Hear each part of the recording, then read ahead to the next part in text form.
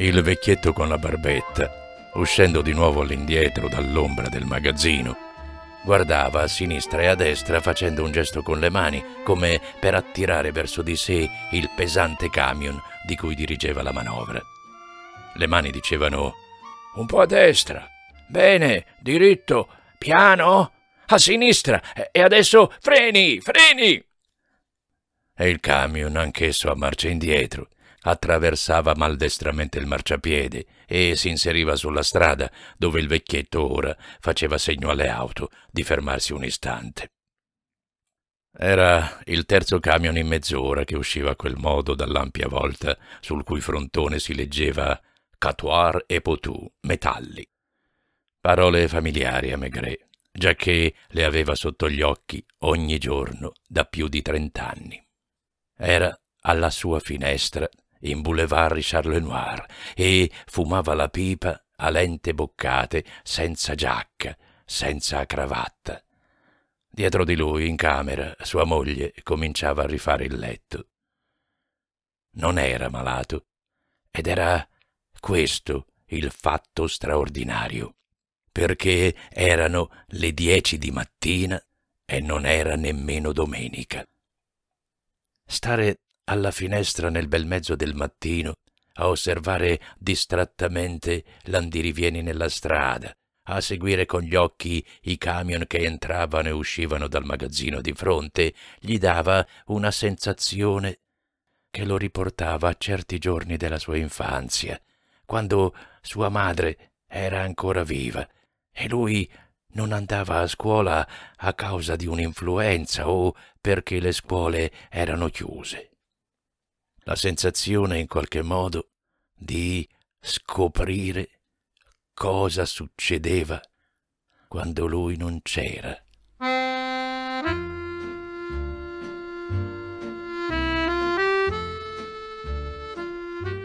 Era già il terzo giorno, il secondo se non si contava la domenica, e lui continuava a provare un'estasi mista ad un vago disagio. Stava facendo un mucchio di scoperte si interessava non solo ai movimenti del vecchietto con la barba che gestiva l'uscita dei camion, ma, per esempio, anche al numero di clienti che entravano nel bistrò di fianco. Era già capitato che passasse la giornata nel suo appartamento, quasi sempre perché era malato e a letto o in poltrona. Questa volta non era malato, non aveva niente da fare. Poteva usare il suo tempo come più gli piaceva. Imparava il ritmo delle giornate di sua moglie, con che cosa cominciava le faccende, in che momento andava dalla cucina alla camera e come faceva seguire un gesto a un altro. Di colpo gli ricordò sua madre quando si occupava della casa, mentre lui anche là rimaneva alla finestra. Come lei, la signora Maigret gli diceva Adesso dovresti spostarti nell'altra stanza, così posso spazzare. Persino l'odore della cucina che cambiava, e che stamattina era quello del fricandò con l'acetosa. Ridiventava attento come un bambino a certi giochi di luce, all'avanzamento della linea d'ombra e di sole sul marciapiede, alla deformazione degli oggetti nell'atmosfera fremente di una giornata calda. La cosa sarebbe durata ancora diciassette giorni. Perché cominciasse, ci erano volute un bel po' di combinazioni e coincidenze, e, prima di tutto, il fatto che in marzo avesse sofferto di una bronchite abbastanza seria. Si era alzato troppo presto, come sempre perché al Quai de il lavoro incalzava. Era dovuto tornare a letto e per un attimo si era temuta una pleurite. Le belle giornate avevano vinto la malattia, ma lui era rimasto ansioso, cupo, depresso. Gli pareva all'improvviso di essere un vecchio e che la malattia, quella, quella vera, quella che ti indebolisce per il resto dei tuoi giorni, lo aspettasse dietro l'angolo.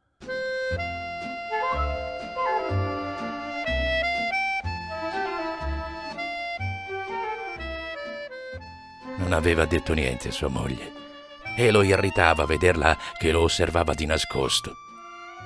Un giorno era andato dal suo amico Pardon, il dottore di Rupipkus, da cui avevano l'abitudine di cenare una volta al mese. Pardon lo aveva esaminato a lungo e per scrupolo di coscienza lo aveva anche mandato da un cardiologo. I medici non avevano trovato niente se non la pressione arteriosa un po' alta, ma si erano trovati d'accordo sulla stessa raccomandazione. Deve prendere una vacanza. Da tre anni non aveva conosciuto vere vacanze. Ogni volta che era sul punto di partire capitava un caso di cui era costretto a occuparsi, tanto che un giorno, che era appena arrivato da sua cognata in Alsazia, aveva ricevuto una telefonata che lo richiamava a Parigi. D'accordo, aveva promesso brontolando al suo amico Pardon. Quest'anno prenderò una vacanza, qualunque cosa succeda. In giugno ne aveva fissato la data, il primo agosto. Sua moglie aveva scritto alla sorella. Costei, che abitava col mar con il marito e i figli, possedeva uno chalet sul colle dello Schlupt, dove i Maigret erano andati abbastanza spesso e dove la vita era gradevole e riposante. Ahimè, al cognato era appena arrivata la macchina nuova e lui aveva deciso di portare la famiglia a visitare l'Italia. Quante sere avevano passato lui e la signora Maigret a discutere su dove andare. Avevano dapprima pensato alla Loira, dove Maigret avrebbe potuto pescare, poi all'Hôtel de Rochenoir, a Sable d'Olonne, dove avevano trascorso eccellenti vacanze. Alla fine avevano optato per Sable. La signora Maigret aveva scritto l'ultima settimana di giugno e le avevano risposto che tutte le camere erano prenotate fino al 18 di agosto. Alla fine era stato il caso determinare la decisione del commissario. Un sabato, a metà luglio, era stato chiamato verso le sette di sera alla Gare de Lyon per un caso senza grande importanza. Dal Quai de Sorfèvre alla stazione, in una macchina della polizia giudiziaria, ci aveva messo mezz'ora, tanto le auto formavano una massa compatta. Erano stati annunciati otto treni supplementari e la folla nell'entrata, sui binari, dappertutto, con valigie, bauli, fagotti, bambini, cani e canne da pesca, evocava un esodo. Tutta quella gente stava andando in campagna o al mare, avrebbe invaso fino il più piccolo albergo, la più umile locanda, senza contare quelli che avrebbero piantato una tenda non appena avessero scoperto uno spazio disponibile. L'estate era calda. Maigret era ritornato a casa spossato, come se fosse stato lui a imbarcarsi su un treno della notte. Cos'hai? Aveva chiesto sua moglie, che dall'epoca della bronchite era attenta a tutto. Eh, comincio a domandarmi se dobbiamo andare in vacanza. Dimentichi che cosa ha detto Pardon? Ah, non lo dimentico. Immaginava con terrore gli alberghi, le pensioni familiari stipate di pensionanti. Eh, non faremmo meglio a passare le vacanze a Parigi. Dapprima lei aveva creduto che scherzasse.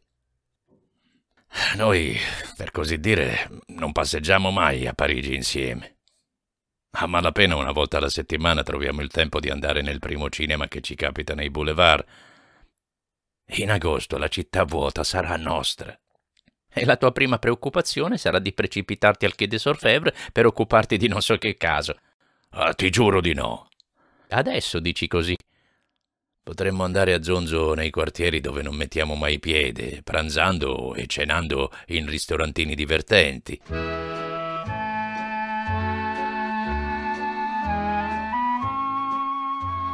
Sapendoti qui, la polizia giudiziaria ti telefonerà alla prima occasione. La polizia non lo saprà e nessun altro. Risulteremo assenti. L'idea lo attirava davvero e alla fine attirava anche sua moglie. Il telefono in sala da pranzo era dunque muto, altro particolare a cui era difficile abituarsi. Due volte Maigret aveva teso la mano verso l'apparecchio prima di ricordarsi che non ne aveva il diritto. Ufficialmente non era a Parigi, era a Sable d'Olonne. Era quello l'indirizzo che aveva fornito alla polizia giudiziaria e se un messaggio urgente fosse arrivato laggiù glielo avrebbero fatto recapitare a Parigi. Aveva lasciato il Quai des Orfèvres il sabato sera e tutti lo credevano partito per il mare. La domenica erano usciti solo verso la fine del pomeriggio per cenare in una brasserie della Place de Terre, lontana da casa loro, tanto per cambiare zona. Il lunedì mattina, verso le 10.30, Maigret era sceso fino a Place de la République, mentre sua moglie finiva le faccende e aveva letto i giornali a una terrasse quasi deserta. In seguito avevano pranzato alla Villette, avevano cenato a casa ed erano andati al cinema. Nessuno dei due sapeva ancora cosa avrebbero fatto quel giorno, martedì, tranne che avrebbero mangiato il fricandò a casa e che poi, probabilmente, sarebbero andati all'avventura. Era un ritmo di vita a cui dovevano abituarsi. Sembrava strano non essere incalzati da obblighi, non dover contare le ore, i minuti. Maigret non si annoiava. A dire il vero, Aveva solo un pochino di vergogna a non far nulla. Sua moglie se ne rendeva conto. Non vai a prendere i giornali? Già si creava un'abitudine. Alle 10.30 sarebbe andato a prendere i giornali. Probabilmente li avrebbe letti alla stessa terrasse di Place la République.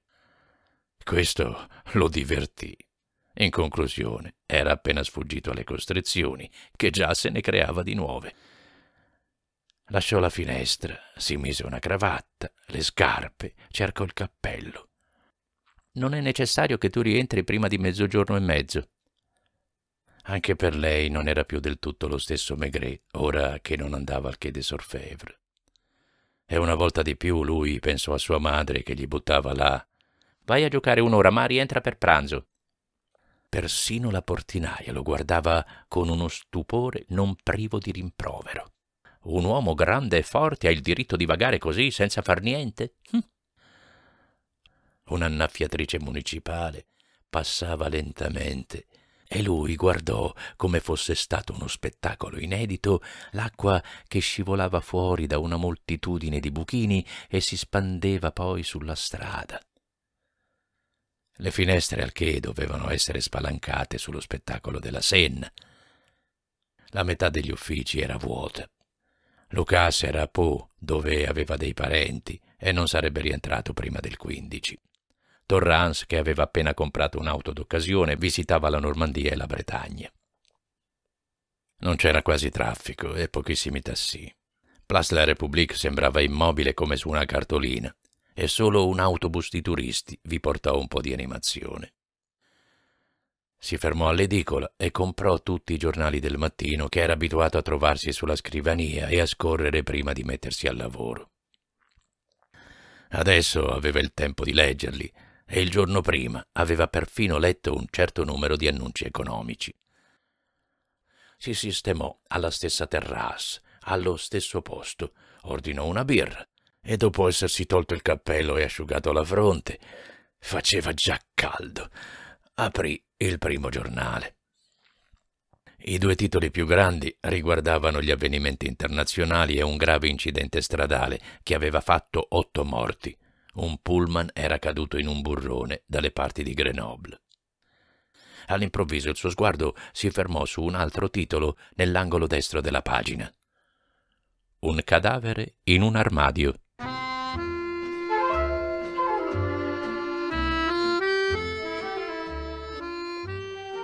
Non gli fremettero le narici, ma provò non di meno una certa eccitazione.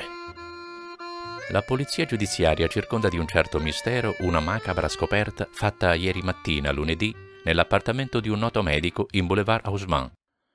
Questo medico sarebbe al momento sulla costa azzurra con la moglie e la figlia. Prendendo servizio ieri mattina, dopo aver passato la domenica in famiglia, la cameriera sarebbe stata colpita da un odore sospetto e aprendo l'armadio da cui l'odore sembrava provenire, avrebbe scoperto il cadavere di una giovane donna. Contrariamente alla tradizione, la polizia giudiziaria si sta mostrando assai avara di informazioni, il che lascia supporre che attribuisca a questo caso una importanza eccezionale. Il dottor J, di cui si parla, è stato richiamato d'urgenza e un altro medico che lo sostituisce durante le vacanze sarebbe coinvolto.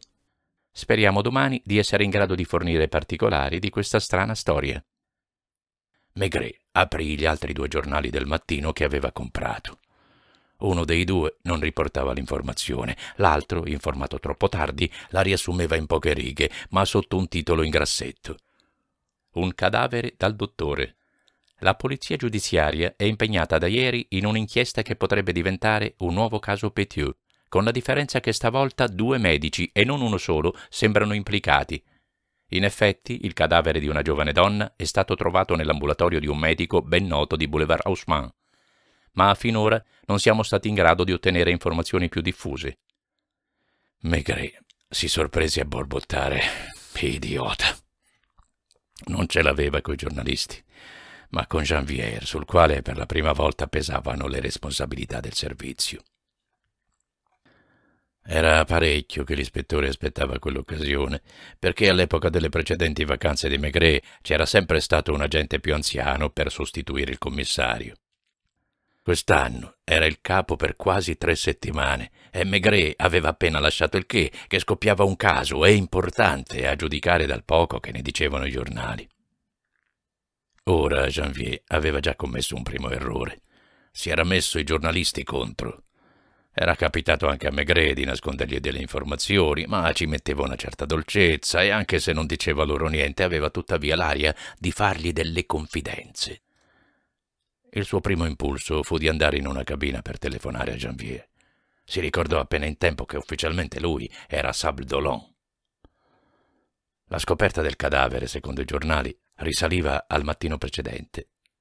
La polizia, come pure la procura, si era immediatamente impossessata del caso. Normalmente i giornali del lunedì pomeriggio avrebbero dovuto pubblicare l'informazione. Era intervenuto qualcuno nelle alte sfere? Oppure Janvier aveva preso la decisione di mantenere il silenzio. Un noto medico di Boulevard Haussmann.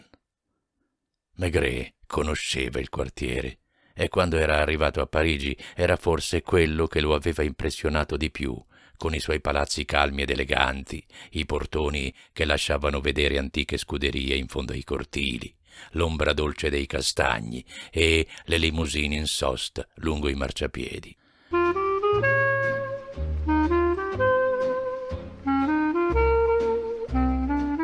Uh, mi dà un gettone? Non per telefonare al che, perché gli era vietato, ma per chiamare Pardon, che era stato al mare in luglio ed era il solo al corrente delle vacanze parigine di Maigret. Pardon era in ambulatorio. Uh, mi dica, conosce un certo dottor J che abita in Boulevard Haussmann? Anche il medico aveva avuto il tempo di leggere i giornali. Mi sono posto la domanda mentre facevo colazione. Ho cercato nell'annuario medico e sono piuttosto incuriosito. Si tratterebbe infatti di un medico di valore, il dottor Jave, ex interno di ospedale, che ha una vasta clientela. Lo conosce? Eh, l'ho incontrato due o tre volte, ma l'ho perso di vista da parecchi anni. Che tipo di uomo è? Sul piano professionale? Per cominciare, sì. Un medico serio che sa il fatto suo. Deve avere una quarantina d'anni, forse 45. È un bell'uomo. L'unico rimprovero che gli si potrebbe fare, sempre ammesso che sia un difetto, è che sia specializzato in clientela mondana. E non è per caso che sia sistemato in Boulevard Haussmann. Immagino che abbia guadagnato molti soldi. Sposato? Lo dicono sul giornale, io non lo sapevo. Senta, Maigret, spero che adesso non corra al che per occuparsi di questo caso. Uh, le prometto di no. E l'altro medico di cui parlano? Eh, non sono stato il solo stamattina a telefonare ai colleghi.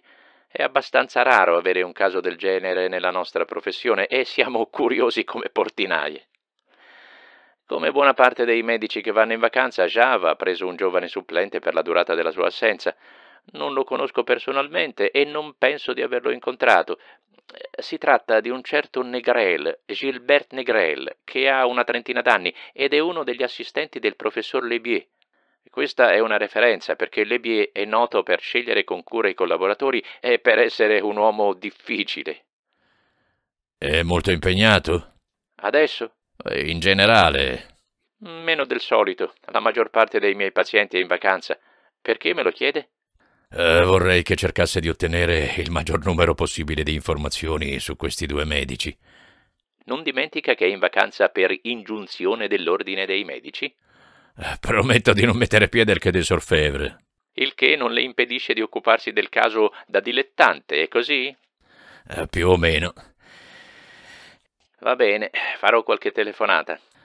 Eh, potremmo vederci stasera. Perché non viene da me a cena con sua moglie? No, no, no, sono io che la invito, con sua moglie, in un bistrò qualunque. Eh, verremo a prendervi verso le otto. Di colpo, Maigret non era più esattamente lo stesso uomo della mattina. Aveva smesso di fantasticare e di sentirsi come un ragazzino che non va a scuola. Tornò al suo posto sulla terrasse, ordinò un'altra birra e pensò a Janvier che doveva essere terribilmente eccitato. Forse aveva cercato di telefonargli a Sable d'Olonne per chiedergli consiglio? Hm, probabilmente no. Ci teneva a condurre il caso a buon fine da solo. Il commissario aveva fretta di saperne di più, ma ora che non era più dietro le quinte, eh, doveva aspettare i giornali del pomeriggio, come il pubblico. Quando rientrò a pranzo, sua moglie lo guardò aggrottando le sopracciglia. Già fiutava qualcosa. Ha incontrato qualcuno? Ah, nessuno. Ho solo telefonato a Pardon. Li portiamo a cena in un bistrò stasera, non so ancora quale. Non ti senti bene? Sono in piena forma. Era vero, il trafiletto del giornale aveva dato un senso alla sua vacanza e non era tentato di andare in ufficio a prendere in mano il caso. Per una volta era un semplice spettatore e trovava la situazione divertente. Cosa facciamo questo pomeriggio? Andiamo a passeggiare in Boulevard Haussmann e nel quartiere. Lei non protestò. Non gli chiese perché. Avevano tutto il tempo di mangiare senza guardare l'ora davanti alla finestra aperta, cosa che non succedeva spesso. Persino i rumori di Parigi non erano i soliti. Invece di formare una sinfonia confusa, i suoni più rari diventavano distinti. Si sentiva un tassì girare l'angolo d'una certa via, un camion fermarsi davanti a una certa casa. Non fai la siesta? No. Intanto che lei lavava i piatti e si vestiva, lui scese di nuovo per andare a comprare i giornali della sera.